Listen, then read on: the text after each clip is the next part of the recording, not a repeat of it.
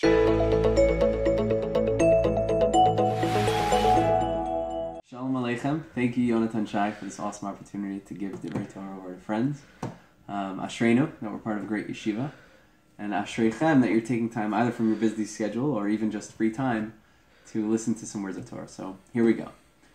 The oh this this idea is b'schus the fact that my wife's due date is actually today, and by the time this video is played, I will probably already be a father. So, hooray! And and here we go. Now I want to talk about the idea of response, taking responsibility for other people. Vayomer el Moshe. Pasuk says, Hashem said to Moshe, saying, or say to the Kohanim, the children of Aaron, you should say to them that they shouldn't become tame to a person in their nation, in his nation. So, the pasuk simply is talking about the mitzvah or the isur to become for a kohen to become tame or to come in contact with tumas meis, right, a corpse or a dead body. Um, those laws are intricate in detail. We're not. That's not the goal of this of this topic of this Dvar Torah, but I do want to focus on a superfluous point that comes out of this pasuk, right? The pasuk says, "Say to the Kohanim, the children of Aaron," and you should say to them. So, so why is it? Why is it that there's this Kohanim and then Bnei Aaron? I know who the Kohanim are. I know who the Bnei Aaron. Why do we have to say both? And why Emor la Kohan el Kohanim Bnei Aaron v'martalehim? And you should say to them. So Rashi says, what's why is it superfluous? It's superfluous to teach us that not only are the Gedolim obligated in a mitzvah, in other words, are people who are ben mitzvah, right, 13, obligated to keep the command of not becoming tameh to a dead body, but additionally, lahazir hagedolim al that the Gedolim are obligated to make sure that the katanim, children, do not do isurim, this one being the example, do isurim, etc. And the Gemara Yevamos explains this in depth. Ayin Sham, if anyone's interested. The Gemara is Daf Kuf Yud Dalid Amud Aleph. Check it out over there, where again it goes in depth into what it means, halachically speaking, that a gadol is obligated to make sure that a katan is keeping the mitzvahs. But I want to bring out a, a deeper point, perhaps, a life lesson, as it were.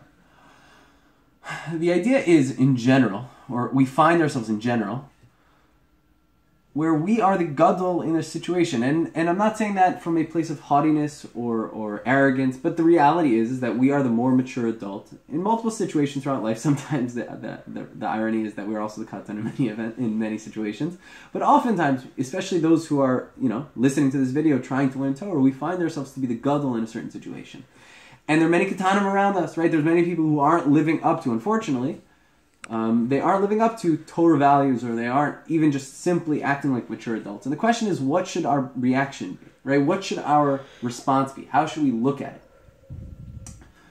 So there's a classic example. I think I, when I when I read this pasuk, when I thought of this idea of Rav and Kol Dodi Dofek. Rav says in Kol Dodi Dofek that many Torah Jews bemoan the fact that Israel is in a Torah state, right? That it doesn't represent Torah values. That there isn't enough Torah Judaism going on in the in, in the state of Israel. And besides, uh, you know, we can we can rehash the discussion about the fact that that the state of Israel is the greatest um, benefactor towards yeshivas in the entire world, or that ever was, uh, probably.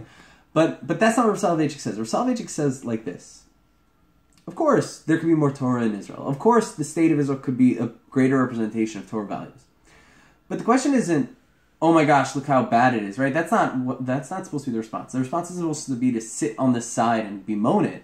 The response is supposed to be, from a Torah perspective, what can we do about it, right? How many religious Jews in America, for example, or in Chutz in general, I happen to be in America, in Chutz in general, what are we doing about it, right? Even the Jews, and who am I to to um, to call out the Jews in Israel? Because you know I'm the one in Chutz But nonetheless, what are the Jews in Eretz Yisrael doing? Those who are complaining like this, what are you guys doing to make it a more a, a state that represents Torah more, right? Instead of just bemoaning it, what can we do, right? Like Rav Kook says about Tzipita L'Yeshua. The Gemara in Shabbos says famously that we're going to be asked a number of questions when we come to when we come to um, the Beis Din Shel Maalah after our, after 120. And one of those questions is, did you hope for Mashiach? So Rav Kook says, it's not just hope. Hope is beautiful, but it's not just hope. See, basically, Yeshua means, what are you doing to cause Mashiach to come? And what are you doing that will effect change that will eventually lead to the coming of Mashiach? It's very nice that we hope. It's very nice that we that anima Mashiach. But what are we doing? How can we how can we affect change? And the reality is, to bring it home a little bit, the reality is, lahazir hagadolim al katanim. We would never expect a two-year-old to understand why the house should be clean, right? We might be able to train a two-year-old, and eventually they'll be able to understand. But but they'll never fully understand it. And when we come home from work or from out, whatever, and the child has played with all of his toys, and his room or the dining room, the living room, wherever he plays, is a mess. You don't just sit on the side and bemoan the fact, oh, how come my kid's, my two-year-old child doesn't get the, doesn't get it? How come my, his room is always a mess? How come his toys are always, he never picks up his toys? You would never do that, right?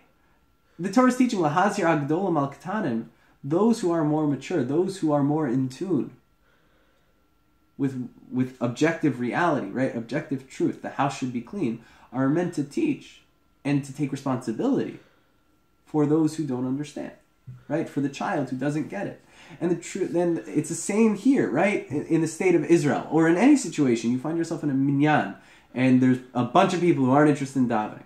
So we could sit on the side of a moment, or we could say, okay, how can I take responsibility for the situation? Even if I can't necessarily affect change, is there any small action that I could do that maybe could affect it? Or even, I don't know if I will affect change, but maybe I could try. Maybe there's something I could do everyone on their own level.